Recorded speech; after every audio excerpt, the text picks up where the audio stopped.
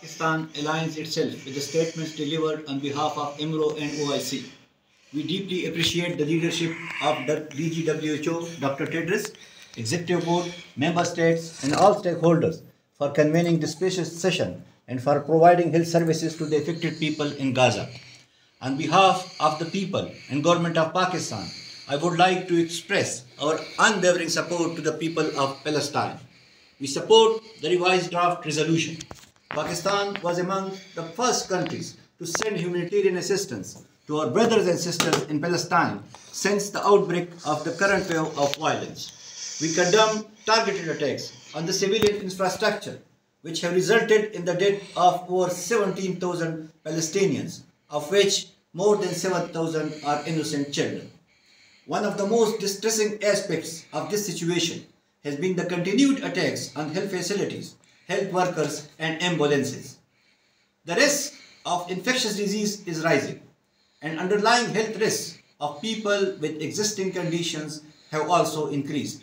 Honorable Chair, targeted attacks on hospitals and ambulances carrying the wounded and the sick are serious violations of international law and we condemn it in letter and spirit. We therefore fully support the call for an immediate ceasefire and a consistent and reliable safe passage of humanitarian assistance to the affected people. Pakistan is a passionate advocate of the motto of health for all, by all, at all cost, everywhere, regardless of any discrimination. Pakistan, in coordination with all actors, support and encourage WHO and other humanitarian agencies for sustaining and augmenting their humanitarian operation in Gaza where the needs are enormous.